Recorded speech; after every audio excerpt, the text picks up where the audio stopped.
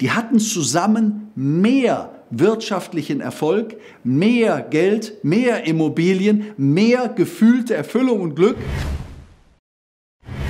Wusstest du, dass es dich mehr als 30 Mal so erfolgreich macht, wenn du deine Ziele aufschreibst? Die meisten Menschen wissen das nicht und sie glauben nicht an Ziele. Und ich will dir heute sagen, warum das so ist, warum sie nicht dran glauben und wie du das ändern kannst. Hallo, ich bin Bodo Schäfer, Money Coach und Gründer des VIP 7 Jahres Clubs. Und mit diesem Kurs kannst du, wenn du dabei bist, in sieben Jahren deine finanzielle Freiheit erreichen. Lass uns heute über Ziele sprechen. Fangen wir damit an, dass die meisten Menschen gar keine Ziele haben. Zumindest keine, die sie aufgeschrieben haben. Woran liegt das? Die meisten Menschen haben keine Ziele, weil sie in ihrem Leben erfahren haben, hey, das bringt ja eh nichts. Soll heißen, sie haben sich das ein oder andere Mal ein Ziel gesetzt und sie haben es nicht erreicht. Und festgesetzt hat sich bei diesen Menschen, ich erreiche meine Ziele nicht, also brauche ich mir auch gar keine setzen. Gehen wir noch ein bisschen tiefer. Warum haben 98 Prozent mindestens aller Menschen keine klaren aufgeschriebenen Ziele? Die Gründe sind einfach. Der erste Grund ist, dass wir Angst haben. Also Angst, dass wir die Ziele nicht erreichen können. Und diese Angst, die ist begründet, denn die entsteht aus den eigenen Erfahrungen. Wir haben es versucht und wir haben es nicht geschafft. Aber die Angst begründet sich auf noch etwas anderes, nämlich auf unsere Selbstgespräche. Circa 80 Prozent und mehr unserer Selbstgespräche, also die Gespräche, die in unserem Kopf ständig stattfinden, die sind negativ. Über 90 Prozent von allem, was wir am Tag an Input bekommen, ist negativ. Angst heißt auf Englisch Fear. Für viele Amis ist das eine Abkürzung für False Evidence Appearing Real. Wir haben uns selber diese Beweise memorisiert. Wir haben uns gemerkt, ich kann das nicht. Oder Ziele sind nicht wichtig.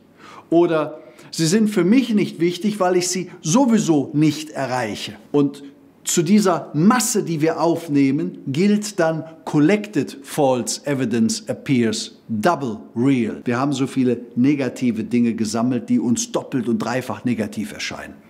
Kennst du einen wirklich negativen Menschen?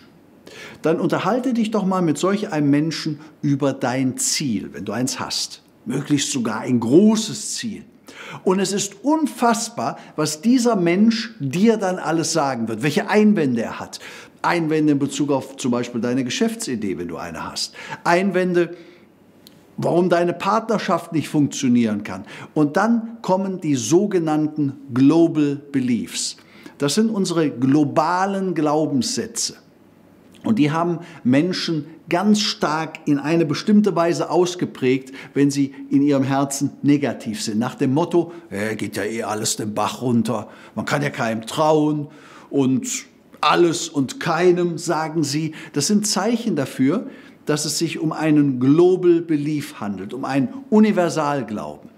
Und ich sage dir einen Global Belief von mir, der mich dazu bringt, mir immer wieder neue Ziele zu setzen. Und vielleicht inspiriert dich dieser Universalglaube auch. Hier ist mein Global Belief. Naturschätze in der Erde verbrauchen wir, wenn wir sie gebrauchen. Wenn wir also Öl aus der Erde holen und sie verbrennen, ist das Öl weg schadet sogar der Umwelt. Ganz anders ist es nach meinem Global Belief mit den Schätzen eines Menschen, die wir in uns drin haben. Hier schaden wir der Welt und der Umwelt dann, wenn wir sie nicht benutzen. Mein Global Belief ist also, wir müssen die Schätze in uns entdecken und sie zum Leuchten bringen. Und das können wir am besten, am allerbesten, indem wir uns, Achtung, Ziele setzen.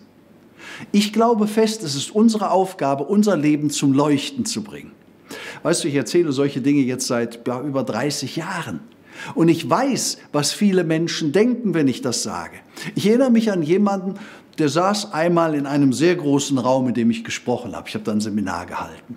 Und du musst dir jetzt so eine ewig lange Stuhlreihe vorstellen. Und mittendrin saß dieser Typ. Und als ich dann so ungefähr 20 Minuten geredet habe, da sagte dann der Typ zu sich selbst, mein Gott, was labert der Schäfer für einen Stuss? Und ich habe damals darüber geredet, was wir alles sein können, was wir alles haben können, was wir alles tun können, wie wir unser Leben zum Scheinen bringen können, wenn wir uns Ziele setzen. Und dieser Mann, der sitzt da und sagt zu sich, wenn das mit dem Schäfer jetzt noch schlimmer wird, dann muss ich hier raus. Und es wurde schlimmer. Denn ich habe die Menschen aufgefordert, etwas Herrliches aus ihrem Leben zu machen, habe ihnen Wege gezeigt, wie sie das tun können, wie sie der Beste werden, der sie sein können. Der Mann war aber ein Angsthase. Der wollte am liebsten abhauen, saß aber da im Zentrum dieser Reihe und hat sich nicht rausgetraut. Denn dann hätte er entweder links oder rechts mindestens 30 Menschen bitten müssen, nacheinander aufzustehen, um ihn durchzulassen. Woher weiß ich das alles? Er hat mir später einen Brief geschrieben. Und er hat mir wörtlich geschrieben, ich saß da gefangen in der Mitte. Ich musste dich ertragen. Aber dann habe ich mich ganz wild entschlossen, in der ersten Pause bin ich weg, ich haue ab. Er hat mir dann den Brief geschrieben und mir geschildert, wie schlecht es ihm damals ging. War bös übergewichtig, hatte richtig schlimme finanzielle Probleme und das war so fünf, sechs Jahre her. Er schreibt dann weiter, dass er gar nicht mehr genau weiß, was ich alles gesagt habe. Aber auf einmal hat ihn etwas berührt. Und dann hat er etwas getan, was er am Anfang für unmöglich gehalten hat. Er hat sich von seinem Nachbar ein Stück Papier geliehen und hat dann angefangen, sich Notizen zu machen. Und in der Pause hat er sich dann am Büchertisch ein Journal besorgt und hat den ganzen Tag mitgeschrieben. In dem Brief stand dann wörtlich, ich habe zum ersten Mal einen Hoffnungsschimmer gehabt seit zehn Jahren. Er erklärte mir dann, dass er angefangen hat zu trainieren, zu sparen. Nur diese zwei Dinge. Trainieren und sparen. Er wollte sich selber in Form bringen und er wollte seine Finanzen wieder in Ordnung bringen. Er hat dann angefangen, täglich meine Audios zu hören. Jeden Tag. Er schreibt mir, Bodo, wenn du irgendwann mal eine Grippe hast und nicht auftreten kannst, dann sag den Termin bloß nicht ab. Ruf mich an. Ich kann alles, was du sagst, Wort für Wort. Ich kann es sogar mit der gleichen Betonung wiedergeben. Ich sage dir das, weil ich so etwas immer wieder erlebt habe. Ich habe über 40.000 Briefe und Mails bekommen von Menschen, die mir im Wesentlichen immer wieder dasselbe, in einer anderen Geschichte, aber mit der gleichen Reihenfolge, mit der gleichen Core-Story erzählt haben. Nämlich, ich konnte mir nicht vorstellen, dass das, was du sagst, Bodo, auch für mich funktioniert. Ziele hatten für mich keine Bedeutung. Oder wenn sie eine Bedeutung hatten, dann eine negative im Sinne von, ich kann meine Ziele sowieso nicht erreichen. Das habe ich mir oft genug bewiesen. Ich muss mir also keine setzen. Ich bin davon überzeugt, dass die meisten noch aus einem anderen Grund keine Ziele haben, weil man sie ihnen nie richtig erklärt hat, nie richtig verkauft hat. Ziele bedeuten, dass du Kontrolle über dein Leben übernimmst. Wenn du nämlich kein Ziel hast, kontrollieren dich andere oder der Zufall. Lass mich das ganz deutlich sagen. Wenn du keine eigenen Ziele hast, hast du kein eigenes Leben. Du weißt dann auch gar nicht, was du wirklich willst. Das Einzige, was du fühlst, ist, dass es dir mal besser geht und mal nicht so gut. Du verstehst aber gar nicht wirklich, warum. Wenn es dann draußen regnet, kann es für dich zu einer Katastrophe werden. Ich habe doch gedacht, dass die Sonne scheint, ich wollte mich doch mit Kumpels treffen und so weiter. Ganz einfach, weil du keine großen Ziele hast. Wenn du große Ziele hättest, wäre ein Regentag für dich vollkommen unbedeutend. Ich habe mal mit Wladimir und Vitali Klitschko zu Abend gegessen. Du erinnerst dich an diese Boxer. Vitali sagte damals, ein Mann ohne Ziel ist wie ein Pfeil ohne Spitze. Und ich bin mir sicher, das gilt genauso für Frauen. Wir brauchen Ziele. Du brauchst sie, ich brauche sie. Sonst verpufft unsere Energie. Und wir wissen nicht, welche Entscheidungen wir treffen sollen. Wir treffen ja jeden Tag so viele Menschen. Wir begegnen so vielen Menschen und so vielen Möglichkeiten, auch vielen Ideen.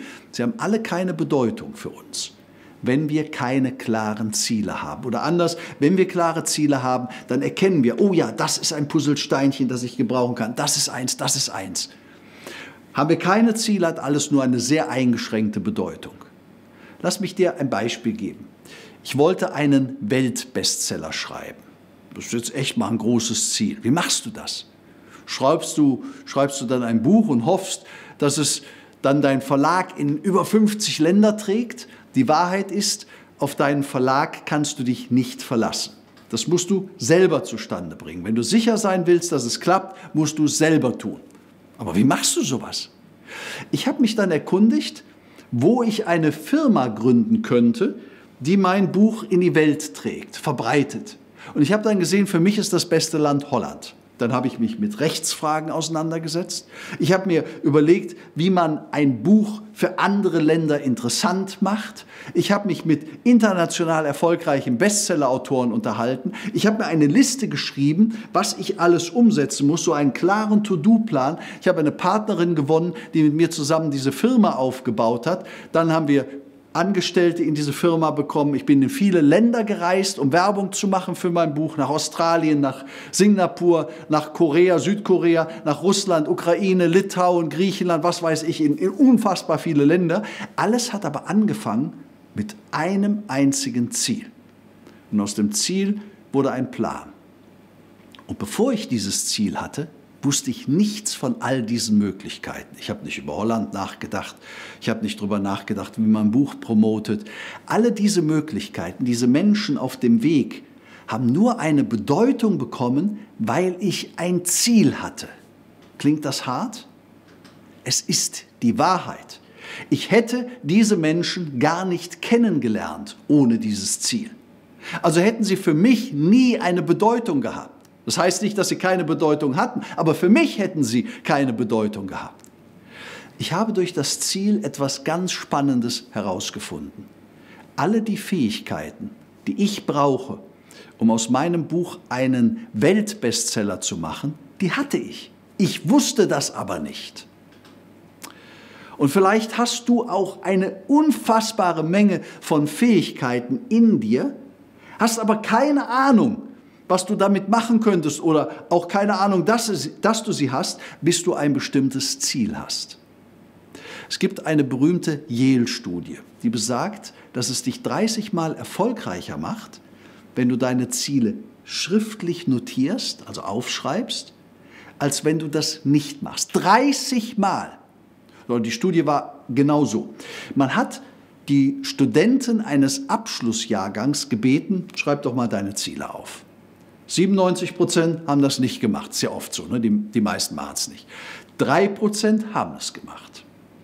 Und 20 Jahre später hat man dann diese ehemaligen Studenten interviewt und es stellte sich heraus, die 3 Prozent, die ihre Ziele wirklich aufgeschrieben haben, die hatten zusammen mehr wirtschaftlichen Erfolg, mehr Geld, mehr Immobilien, mehr gefühlte Erfüllung und Glück als die 97 Prozent zusammen, die ihre Ziele nicht aufgeschrieben haben. So, so weit, so gut. Aber wir müssen auch lernen, wie wir Ziele setzen. Denn wenn du die Yale-Studie wirklich studierst, dann erfährst du, dass es nicht nur darum geht, ein Ziel aufzuschreiben. Das ist nämlich nur der Schritt 1. Der zweite Schritt, jetzt kommen ein paar spannende Schritte. Der zweite Schritt ist, dass du dir auch die Gründe notieren musst, warum du dieses Ziel erreichen musst und müssen ist hier das entscheidende Stichwort. Warum es für dich unfassbar wichtig ist, dass du dieses Ziel erreichst. Der dritte Schritt ist, du notierst dir dann die Hindernisse, die du dafür überwinden musst. Bei einem großen Ziel ist es unfassbar viel.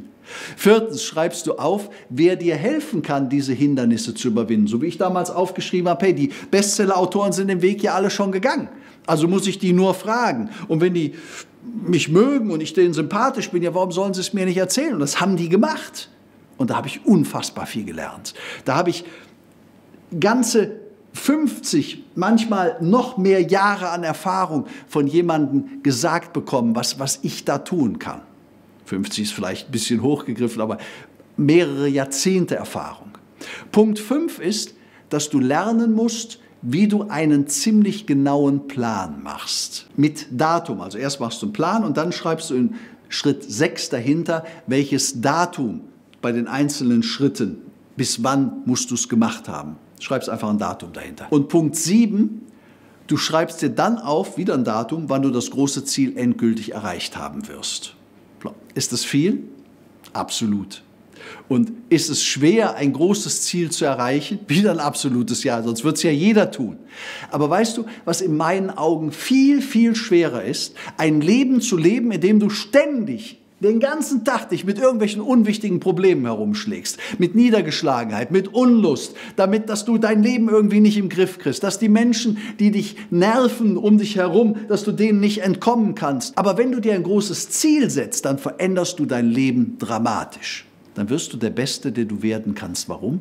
Weil du jetzt einen Grund hast, der stärker ist als du selbst. Wenn du sagst, ich will mich in Form bringen, ja, ist schon wichtig, aber dass du dich in Form bringen musst, um ein Ziel zu erreichen, das ist viel, viel mehr Power, viel, viel mehr Motivation. Und dann bringst du dein Leben zum Leuchten.